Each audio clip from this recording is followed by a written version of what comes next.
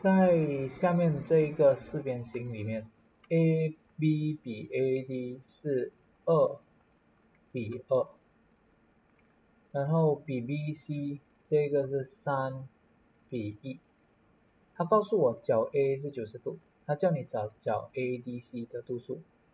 这一题呢，你需要懂两样东西。第一样东西是我的这一个其实是一个。等边三角形，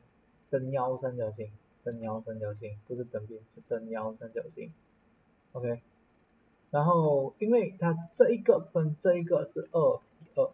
这边是九十度，所以这两个角度呢，我给它是 x 的话呢，它是一样嘛，等腰对等角了，所以我两个 x 加九十度等于一百八十度，所以我的两个 x 九十度，所以我的 x 四十五度。然后在这一边呢，我用 Pythagoras theorem 来算的话，这个是二 square 加二 square，然后它会变成 square root 八，OK，我知道它是 square root 八之后呢，在这一边你就想象一下，我这一边这个是 square root 八，然后我的 square root 八的话呢，它这个三其实是 square 九来的嘛，所以这三个里面三是最大。我的那个三呢，in 三角形 BCD 里面，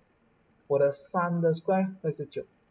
，e 的 square 加 square root 八的 square 是一加八，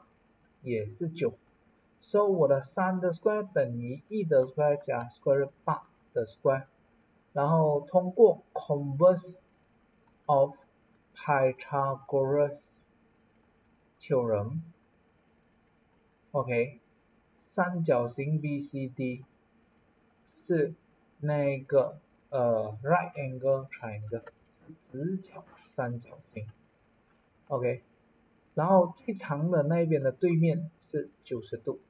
然后刚刚这边是四十五度，所以我的角 ADC